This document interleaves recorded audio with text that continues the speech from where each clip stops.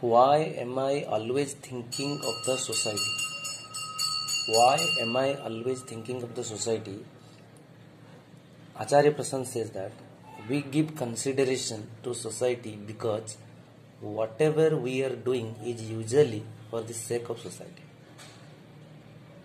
Even in our personal action, we include the society. Yes, what you call as your personal action, the horrible fact is that even they are social action. We may think that when we are alone in our house, let's say in the kitchen or in the study room, then whatever we are doing is there is a personal action. But it is not a personal action at all because it is still being detected by the society.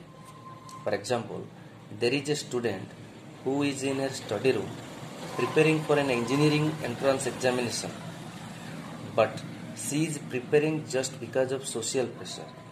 Now, is this preparation is the moment of preparation when she is alone in her study? Is this a personal action or social action? It is a social action. It is still a social action, even though the society does not appear to be present. The society is physically not present, but it is very much present there. Where? In this mind. So even when, when we are doing something very personal, we are still guided by the society. So marriage you would say is something totally personal. Marriage and love are both called as personal, but we are not guided by the society in all these matters. So are our marriage personal? Is our love personal? No, it is totally social. Society, religion, class, all these things are guiding even our most private and intimate matters. And when our matters are all social, it is but obvious that we will have to care for the society. You look at all these matrimonial portals. People who want to marry put their profile there. When you put your profile and fill the profile form, it has section for your religions, for your caste, for your gotra.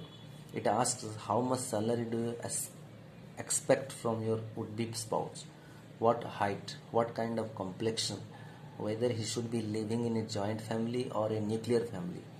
Now, are all these things not social? Did you decide your religion? Religion is totally social thing which is handed over to you by the society. And now you allow religion to come in the way of your love. Is love then social or personal? You are saying, I will marry a boy of my gotra. Now you did not decide your gotra, did you? So you are marrying the boy, or is the gotra marrying the boy? So are you marrying the boy, or is the gotra marrying the boy? Obviously, one gotra is marrying the other gotra. So where is any personal thing in this? It is all social. You are not present in this. It is a crowd. Society has taught us what kind of features to look for in people. Now, because of years of colonization, in fact, decades of colonization in India, you have a great emphasis on fair skin. There are all these companies that all uh, that sell fairness product in India, and believe in me, they cannot easily do in any other country of the world. No country of the world is so mentally enslaved about complexion that you can sell a fairness cream and people would also buy it. Elsewhere, people will say it is fine that I am dark. Being dark is alright, but you go on the date and you meet a boy who has very fair skin. You choose him, but it is not you who has been who had chosen him. It is the society that has chosen him for you. So it is not actually you, you who is dating him. An entire crowd is dating the boy. It may appear that two persons are meeting, but the two persons are not meeting, two crowds are meeting. So, where are you in all this? What we call as ourselves is nothing but a crowd mother, father, relatives, and entire world. Even when you say that I am doing something personal, the entire crowd is present.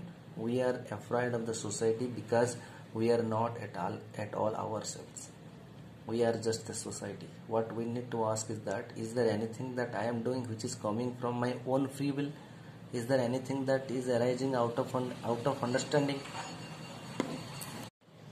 actions thoughts beliefs which i consider as normal are they really normal or are they just conditioned you generally say it is very normal to behave this way. What is normal? Just because everybody is acting foolishly, foolishness becomes the norm. So, what is so good about being normal? Remember, J. Krishnamurti says that it is no measure of good health to be well adjusted to a profoundly sick society.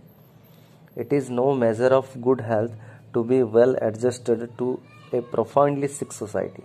But we are all very social and we take pride in that. We are so well adjusted. Have you not seen people who say, I am a very social man? He is actually saying, I am very sick man and I am proud about it. He is actually saying, I am a very sick man. When you will do something which is not social at all, believe me, in that moment, you will not be afraid of the society. Whenever you will find something which is not social, which is not corrupted, which is entirely yours, in that moment, there will be no fear in that moment. You will be the most fearless person. Even the thoughts of others will not come to your mind thoughts of other comes into our mind because the very action is not is for others influenced by other and for the sake of other so don't be puzzled when you find that you are afraid of the society all the time it is obvious that it would happen. A slave will all the time be afraid of the master till the time you are a slave. You are bound to be afraid. And in the moment when you are not a slave you will not even ask this question because when there is no fear then there is no question to ask